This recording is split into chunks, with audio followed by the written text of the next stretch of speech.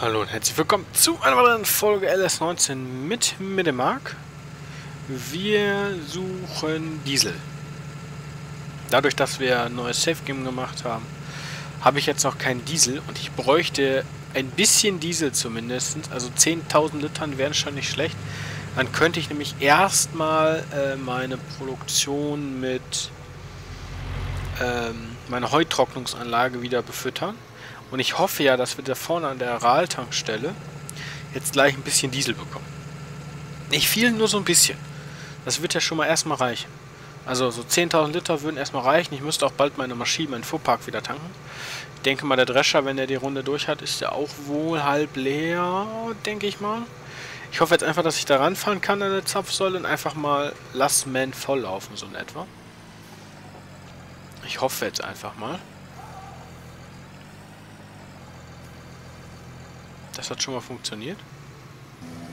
Oh, das funktioniert auch. Diesel. Oh, hallo Tank, hallo Tank.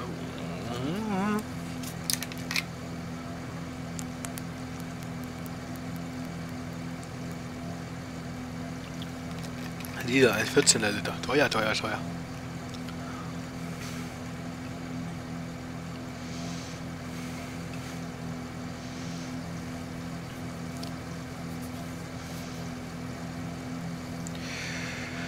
Ach, du ahnst nicht. Viel zu teuer alles.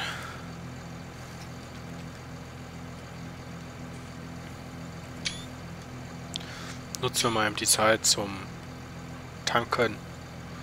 Zum... Also ich würde ja ganz gerne so 15.000 Liter mitnehmen. Einfach nur um... Ähm, ähm, 10.000 Liter in die Heutrocknungsanlage zu schmeißen und 5.000 Liter auf dem Hof stehen zu haben, äh, dass wir nach der Saison erstmal unseres, unseren Fuhrpark wieder tanken können, so wie äh, vor allem gleich, wenn hier, hier, wird, hier kommt ja alles runter, hier, hier wird ja richtig geackert gleich, also hier geht es nachher noch richtig ab wie mit Katze. Hm. Ich denke mal, ähm, dass wir heute auf jeden Fall noch einige sehen werden was heute noch passiert. Oh, Alter.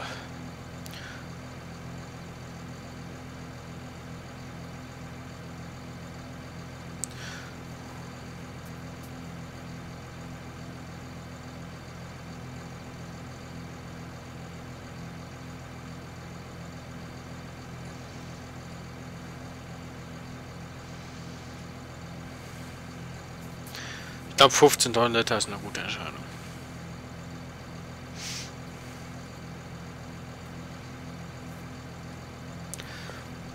Weil wenn wir gleich mit der Erdarbeiten anfangen, also ich denke mal übermorgen, ach, Entschuldigung, dann geht das hier auf jeden Fall wieder rund.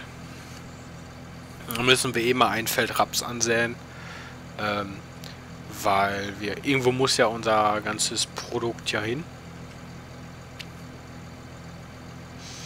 Dann werde ich dann gleich noch eben, obwohl das könnten wir eigentlich auch schon mal machen, Kursen ein, Kurse einfahren. Weil ich eigentlich den New Holland gleich noch... Brauche ich den gleich noch?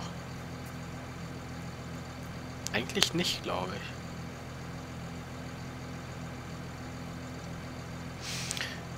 Ja, vielleicht fahren wir gleich selbst noch mal ein bisschen Weizen in der Mehlproduktion, obwohl das landet gerade im Lager, das ist jetzt auch nicht so spannend. So, wir haben 10.000 Euro für Diesel ausgegeben. Aber ich würde ganz gerne noch ein bisschen was mitnehmen, weil ich weiß, der Drescher, da geht ein Tausender rein. Fangen wir mit den Treckern an. Hier in dem gehen 600 rein. Die anderen Stepper, die jetzt alle unterwegs sind, das gefrisst hat was. Also der Drescher, der Häcksler.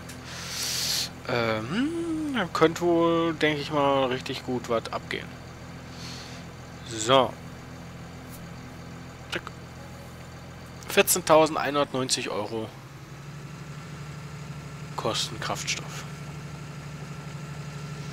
Der 620 steckt im Verkehr fest und der Puma steckt im Verkehr fest. Schön. Hier ist jetzt ja unser... Eigentlich hätte der erst in der Mitte machen müssen und dann zweimal drumherum ziehen. Hm. Egal.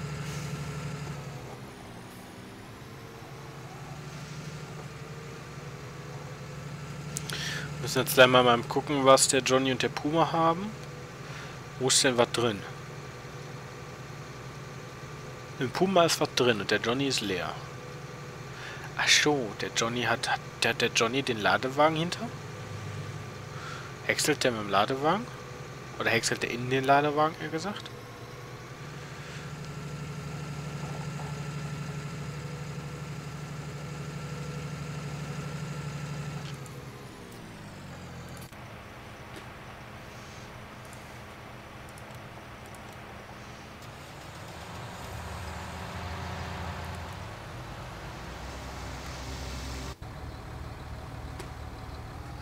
Ja, der ist voll. Ich. Aber den fahren wir jetzt manuell weg. Dann können wir den auch sofort in die Mehlproduktion kippen. Lexion, äh, Lexion. Den TGS müssen wir auch noch mit voll machen. Der braucht nochmal eine Rutsche Paletten. Das kippen wir jetzt sofort in die Mehlproduktion. Hätten wir nicht gerade schon machen können. Einfach wieder wegschicken. Egal. Ich überlege noch, ob ich den Kurs vom Fendt ändere. Oder ich lösche den Kurs gleich. Ne, brauche ich ja noch zum Einfahren.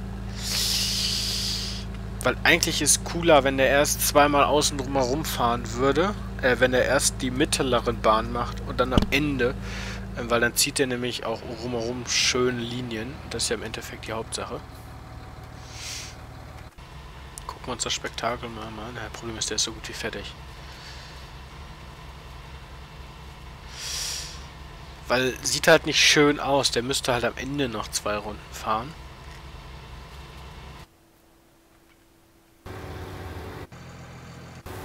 Eigentlich.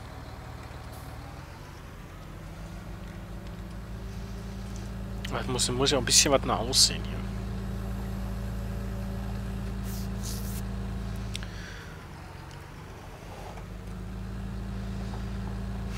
Ändern wir das nochmal. Das können wir aber erst dann nächstes Mal machen.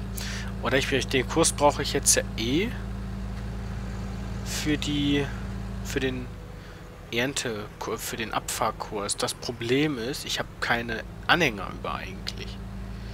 Jedenfalls nicht so richtig. Rein theoretisch müssten wir nämlich tauschen. Der, der hier dran ist, muss an den Case der Fendt kriegt den Fendt-Ladewagen. Und hier muss gleich auch schon eigentlich der New Holland drauf äh, Stroh abfahren. Eigentlich. Theoretisch zumindest. Aber ja. Hm. Typisch fängt, wieder gleiche Dilemma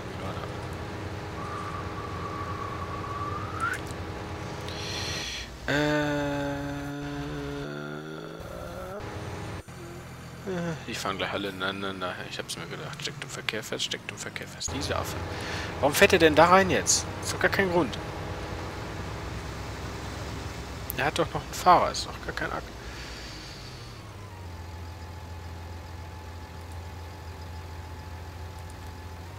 Fahrer hinter Traktor. Ja, mach das.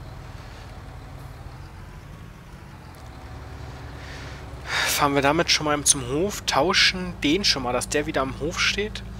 Weil damit muss der jetzt gleich Maishexe, nützt halt nichts. Weil ich gleich die Ladewagen brauche und die mit Maishexe wird auch noch ein bisschen dauern. Aber hier muss gleich schon das Gras eingesammelt werden. Müssen wir mal eben umbauen. Das heißt hier abladen und den Anhänger dran. habe ich aktuell zwar nichts, was aus dem Lager geht, aber ist auch erstmal uninteressant, weil so viel Lagerfläche haben wir jetzt ja auch nicht. Oder haben wir zwar schon, aber das brauchen wir jetzt ja nicht. Erstmal. Ähm so. Fahren wir Centi, Centi vor. So.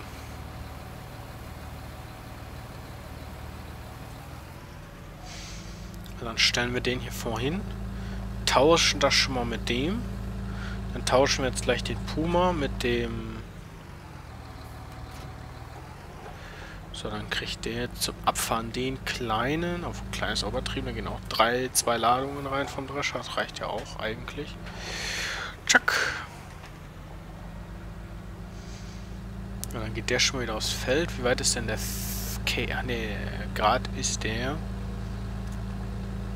Puma noch am voll machen.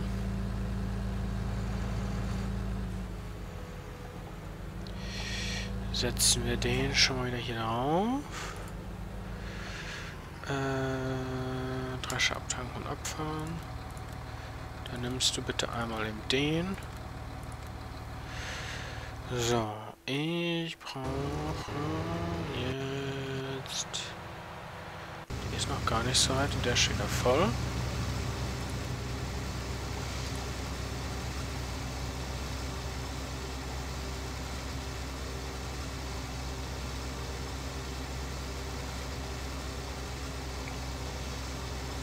Brauche nämlich jetzt gleich den Ladewagen.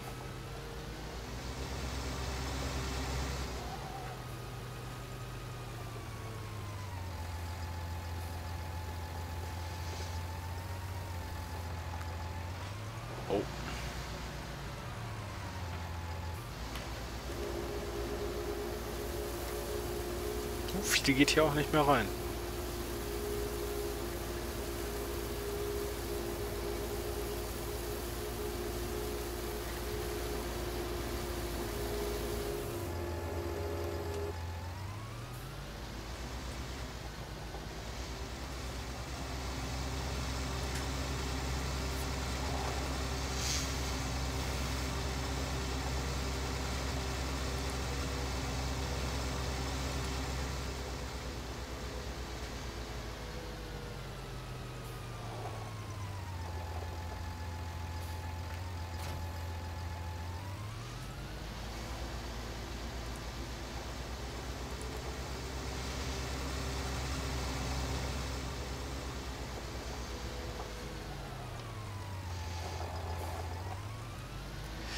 Bräuchte mal einen Schluck Häckselgut eigentlich, um mal kurz was zu testen.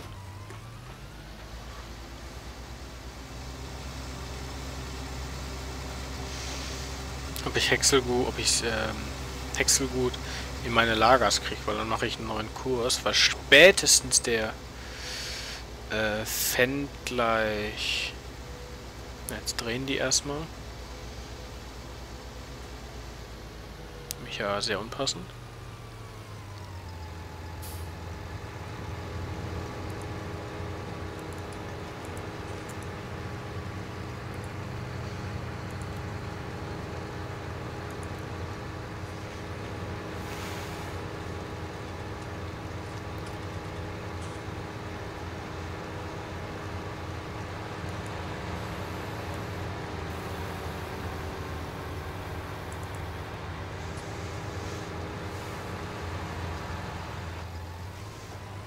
Fahren wir mal eben daneben.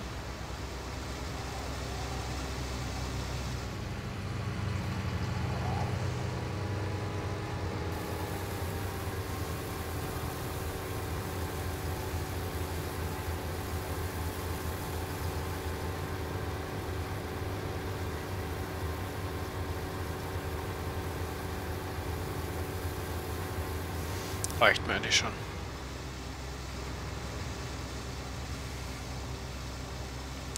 Will ja nur wissen, ob das ins Lager geht. Wenn es nämlich das tut, werde ich jetzt gleich einen neuen Kurs machen und den Johnny neuen Kurs ab verabreichen und den Puma. Einfach nur aus dem Grund, weil in den Fermenter so gut wie nichts mehr reingeht. Ähm Gucken wir mal, ob der hier Häcksel gut annimmt.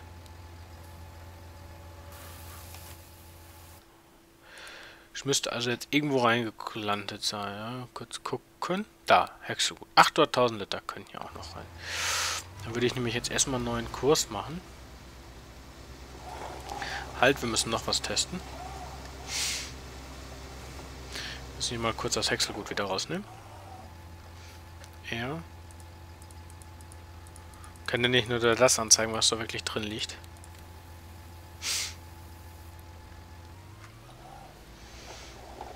Wechselgut da wieder raus.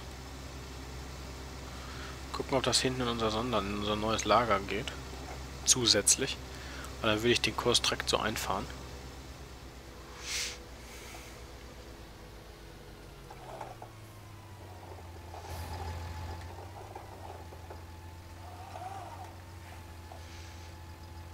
Exegut wird hier nicht angenommen. Das ist gut. Äh, weil den Kurs brauchen wir eh.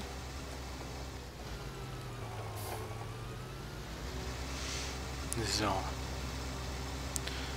wir mal einen neuen Kurs. Setzen wir den enger an? Ne, können wir eigentlich schon fast gar nicht. Äh, zack, zack. Und dann hätten wir auch direkt, wenn wir Weizen machen, hier einen Kurs.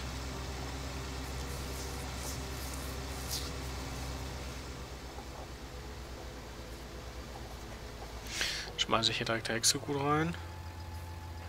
Zack.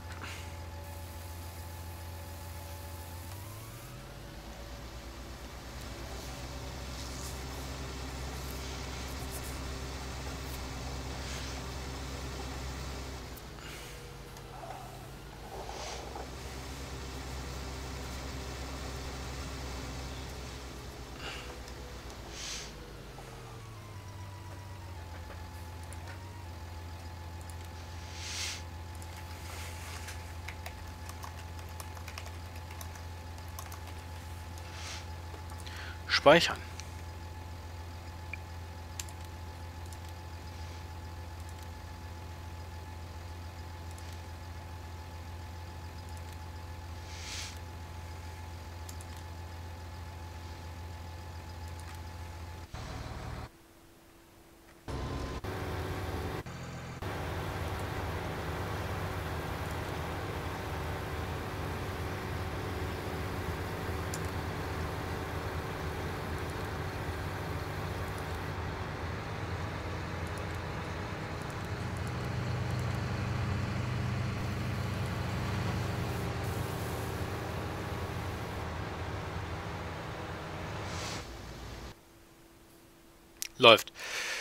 So, womit beschäftigen wir uns als nächstes hiermit, oder?